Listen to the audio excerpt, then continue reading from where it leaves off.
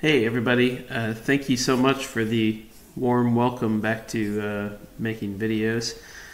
Uh, I don't know how many I'll be making or how regularly, but I did uh, get an idea just from making that past video. Um, I had to kind of go back through my old process of how I make videos and make some changes to it.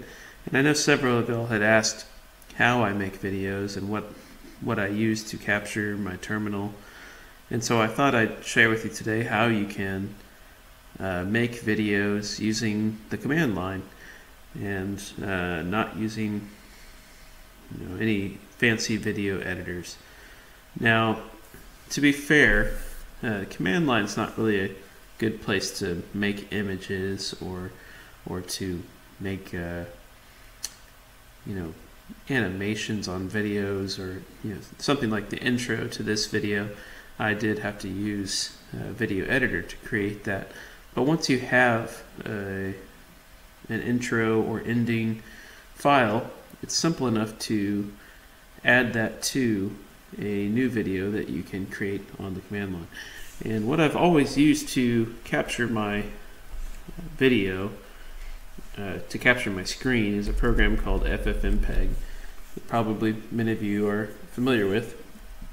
And uh, FFmpeg is kind of an audio-visual Swiss Army knife. It does uh, conversions between different file formats or uh, demuxing or muxing or changing containers and all that sort of stuff. What it also does is it has a variety of different sound and visual inputs and outputs, and one of those inputs that it can take uh, for the visual aspect is grabbing your X11 screen.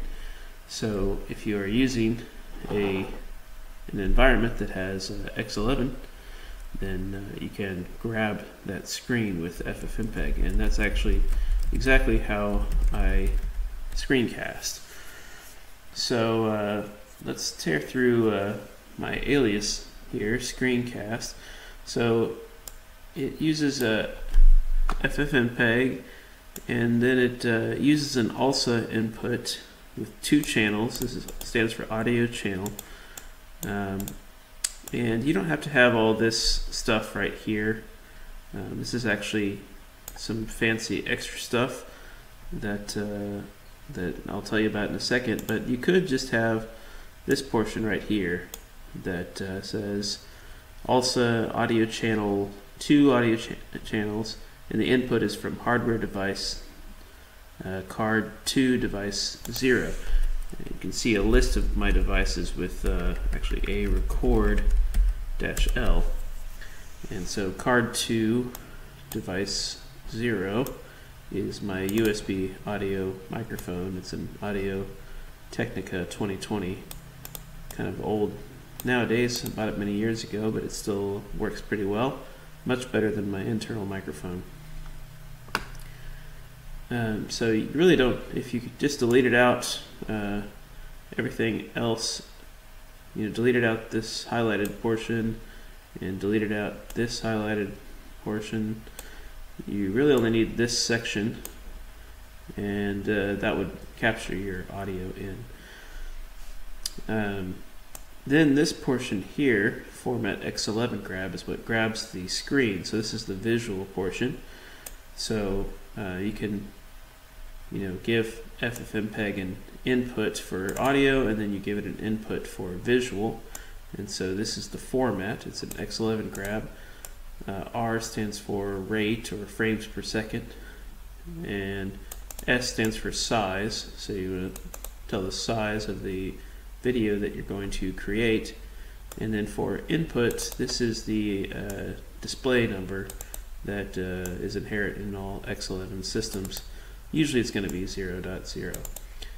Then I have to decide uh, how I want to transcode or encode, I should say, these uh, inputs. I have an audio input, and I have to choose which codec I want to encode it with, and uh, same with the with the visual aspect. So I'm going to make it into an MP4, which generally uses AAC and H.264. So I'm going to use those codecs to encode it. This uh, CRF stands for constant rate factor, and uh, it's basically a um, it's basically complicated. I'll put it that way. But by setting it to zero, it effectively makes the video uh, encoding lossless, meaning it doesn't uh, skip frames or or uh, try to. Anyways, it doesn't add any error to it. It takes what you get. You get what you get.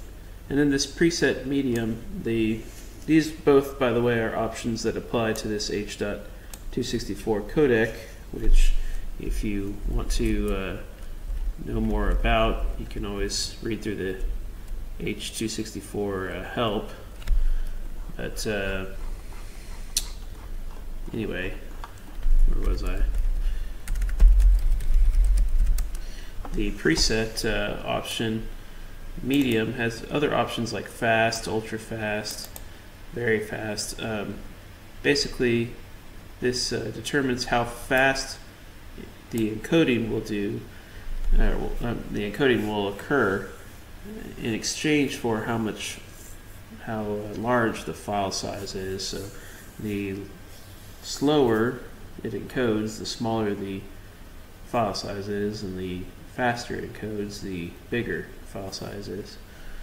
So I have it set to uh, medium here. You can kind of play around with it. I've had uh, success with these settings, but you can really try a bunch of different things. So I'm actually running this screencast right now to to uh, capture this uh, to capture this uh, X11 screen and, and and record this video. So this is that command right here, screencast, running, and as you can see, it figures out uh, where the input streams are coming from and then uh, puts them in. You can see somewhere down here that it's uh, going to encode to AAC and to H.264. So this is stream 2 is going to have raw video that's native and go to H.264. And then this stuff, the amix and all that is kind of a uh, this is all that fancy stuff we skipped over. So if we come back to this loop out stuff, basically this is a way that I can allow multiple inputs into the video. So you can hear my microphone, but you could also hear my system sounds if one played. And uh, basically that uses uh, ALSA's aloop um, module if you, you could grep your lsmod, uh, this module sound A loop is what uh, allows for this loopback device that can uh, mix these, or allow FFmpeg, I should say, to mix these inputs together. So then once you have your video, uh, assuming I have a given intro file, uh, I can concat that video uh, with the intro file. Um, well, actually, before we get ahead of ourselves, first, I would like to cut the beginning, the beginning and end of the intro file because when I first run the command, you see this screen, and then I kind of move over to a full screen terminal, which uh, is nothing fancy. It's just kind of a bigger font size terminal that's um, that's full screened. But uh, before I can get here, you see this screen, and I'd like to cut that off the beginning and off the end of my video when I have to start and uh, stop the screencast, or FFmpeg I should say. So the way I do that is with a cut command. Um, I don't like remembering a bunch of stuff and I like things to be simple, so I just make little functions out of my bashrc. So the cut video is just a FFmpeg again, which takes uh, the input file, which is whichever uh, file we just made with our screencast, and and it cuts from uh, from dollar sign two to dollar sign three. So this SS, I'm not sure what it stands for. Uh, I think maybe it's uh, start stage or something like that. And uh, you start at that time, and then this 2 allows you to specify an end time. You also sometimes see a dash T. If you leave out the O and just do dash T, then it's a duration instead of the end time. And then this uh, C copy just says use the same codecs that were already in use from the original file and just uh, do this to it and put it out to a new file. So then we have a, a a new video called Cut MP4 that's just from this uh, start time to this end time.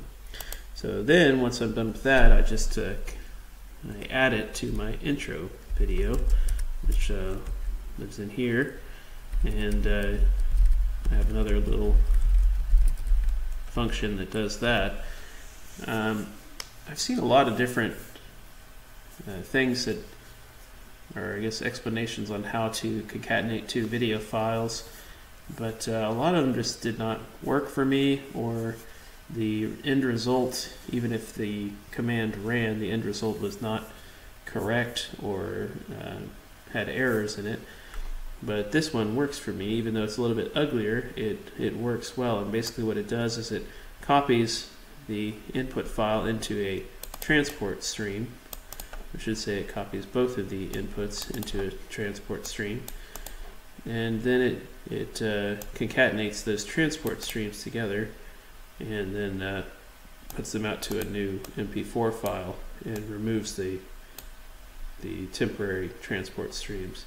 So that's why I put this in a function so I don't have to remember all this. So if I just type concat video and then the, this cut the whichever one you want to go first, you type first. So I do uh, concat video and then this, and then for the second parameter, I put my cut video, and then it just puts them together.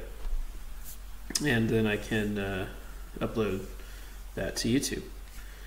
So uh, hopefully that was interesting. And uh, for those of you who are wondering how I code these video or upload these videos or make these videos, uh, nothing fancy about my terminal, it's just a full screen terminal. This is the i3 uh, window manager that's running here.